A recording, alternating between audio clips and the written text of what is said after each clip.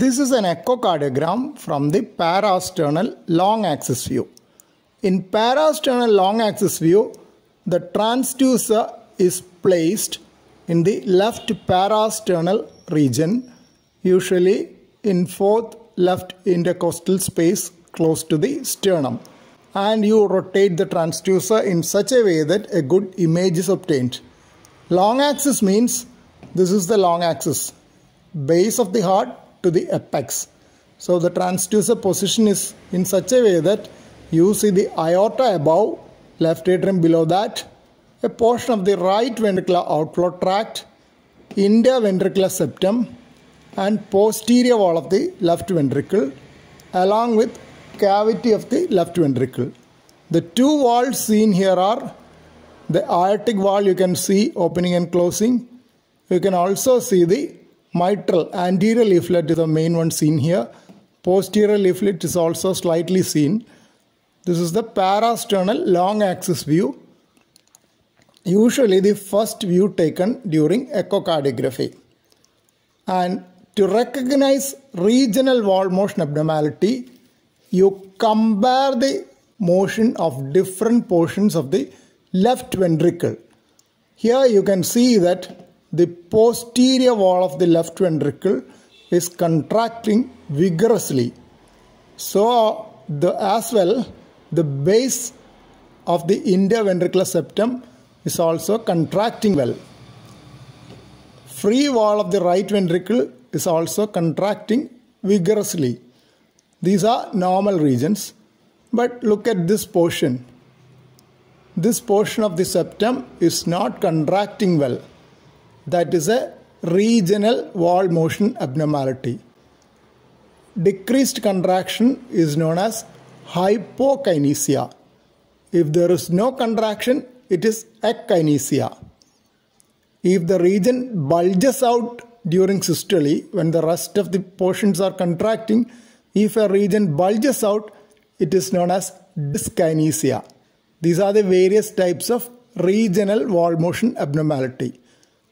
Usual cause of regional wall motion abnormality is obstruction to the coronary artery. The coronary artery supplying this region of the heart muscle will be obstructed, usually a myocardial infarction. This would be an anterior wall myocardial infarction secondary to occlusion of the left anterior descending coronary artery. That is the regional wall motion abnormality seen in this view. After that you have to see other views and also there is classification. American Society of Echocardiography has divided segments of the left ventricle into 17 segments and the regional wall motion abnormality has to be coded according to the region where it is hypokinetic. This is a still image showing the segments basal anteroseptal, mid anteroseptal, mid posterior, basal posterior. So, in the previous clip, you can understand that it is the mid anteroseptal which is hypokinetic, while the basal anteroseptal is contracting, basal posterior was contracting, and mid posterior was contracting in the view which you have just seen. These are the segments in the parasternal short axis view mid anteroseptal, mid anterior, mid lateral, mid posterior, mid inferior, and mid septal. You can see the papillary muscles also in this view. Now we can see the moving images. The mid anteroseptal and mid septal segments are hypokinetic. Movements are lower, while rest of the segments are contracting well. In short axis view, you see the left ventricle in cross section.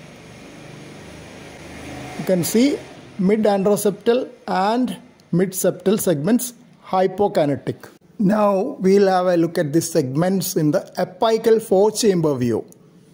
Apical segment, apical lateral, mid lateral, basal lateral, basal septal, mid septal, and apical septal are the segments seen from the apical four chamber view. In this view, the transducer is kept at the apex of the left ventricle and the imaging is upwards. That is why the image is seen as upside down in this view. Uh, this is the live apical four chamber view. You can see that the apical septal, apical and apical lateral segments are hypokinetic. Rest of the left ventricular segments are contracting well. You can also see the mitral and tricuspid valves opening and closing well. This is the papillary muscle. These are the structures seen in this view.